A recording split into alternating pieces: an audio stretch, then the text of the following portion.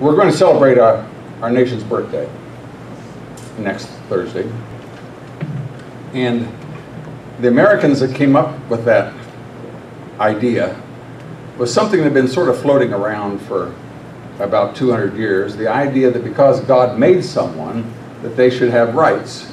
Now prior to that time, it had to do with nobility, it had to do with land. But if you're just someone else, uh, uh, you were just fodder to work in the, in the mills or do whatever. But in America, they said, we hold these truths to be self-evident, which is a gracious Jeffersonian way of saying any idiot ought to understand this. This is, this is self-evident, bozo. Be blind, deaf, and dumb. That all men are created equal and endowed by their Creator with certain inalienable rights, and among those are life. So people, people want to come along and say, I don't want government involved. You're in the wrong country, because right there, the purpose of the government, life, liberty, notice the sequence. See, liberty is a precious little value if you're dead. You have to have life first, then liberty, then sewer systems and overpasses, but the first thing you do is life. and then and then to secure these rights, governments are instituted among men. The purpose of the United States government was to do those two things, those three things, to have life and liberty, that we could pursue our goals. There was no, there was no example to follow. And yet, when those 56 men met in Philadelphia and drafted that piece of paper, they knew that when they signed it, they were signing their death warrant. That that was treason. Treason is punishable by death. And they were going to look for each one of them and come after them, and they, and they did. In Congress, the sponsor of any bill or piece of legislation is given the last opportunity to speak just before the vote. And John Adams was the sponsor of the, of the resolution. And when he got up, he, he said, sink or swim, live or die, survive or perish, I give my heart and my hand to this vote. It's true that in the beginning we aimed not at independence, but there's a divinity which guides our end. The arrogance of England has persisted, and unmindful of her interests for our good, which has obstinately persisted until now, independence is within our reach. We have but to reach forth for it, and it is ours. We may not live until the time that this resolution shall be made good. We may die. Die colonists, die slaves, die ignominiously and on the scaffold. Be it so, be it so. But if it be the pleasure of heaven to require the offering of my life, this victim shall be ready. But while I do live, let me have a country, or at least the hope of a country, and that a free country. Through the thick gloom of the present, I see the brightness of the future as the dawn in heaven. We shall make this a glorious, immortal day. When we are in our graves, our children will honor it with festivities, with illuminations, with bonfires.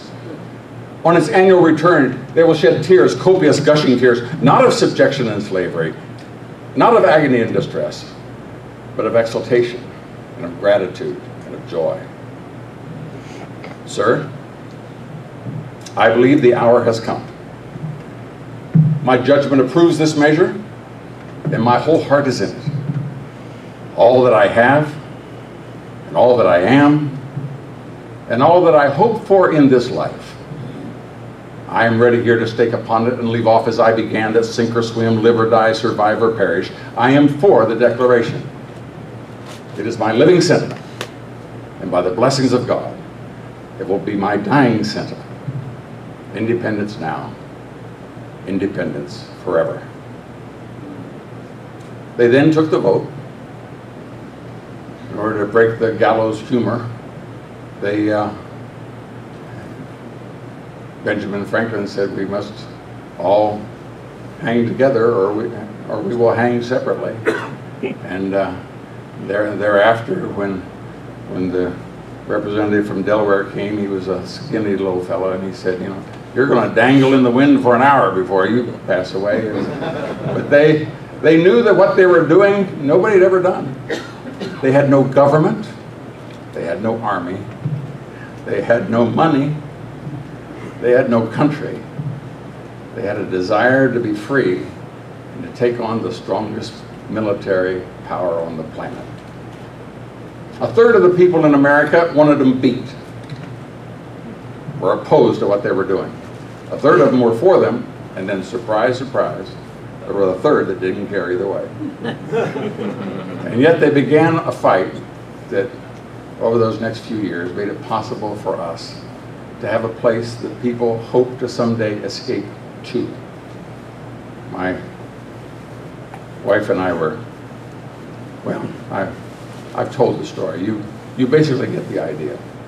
I remember one time we were at the, at the wall in East and West Germany, flying along and seeing, they had, they had color photographs of where the army that had walked every inch every seven days, flown every inch every 24 hours. They had photographs of people trying to escape all during the 60s and 70s and 80s, trying to get out. And they had pictures of them. where Maybe they'd throw a, throw a mattress over the barbed wire and try to climb, and they saw that they, all, they always got killed.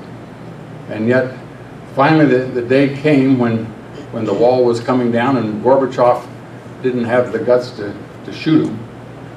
And when, once that happened, then they began to come with a vengeance. And they were, they got that train, that, they loaded a train that was coming from East Germany to West Germany. And, the people said that when they, when they came across the border, they saw the American soldiers for the first time. They said, it's the Americans, it's the Americans. It says like electricity went through the train. He said, now we are free, now we are free. Well, that's what those people established this Independence Day that you and I can enjoy it together. And so as we lock hands and fight the battles that stand before us, uh, we're going to do it not only for ourselves, but for our children and for generations to come. And I applaud you and honor you for it. God bless.